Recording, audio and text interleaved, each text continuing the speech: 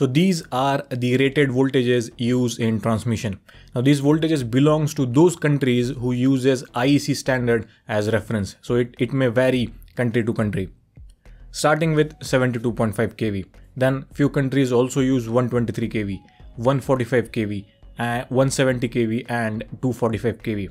Now these voltages put together is called as the high voltages. When we go above 245 kV that is 300 kV, 420 kV, 550 kV and 800 kV. These voltages are called as extra high voltages. And if you go one more step ahead that is 1100 kV and 1200 kV, these voltages are called as ultra high voltages.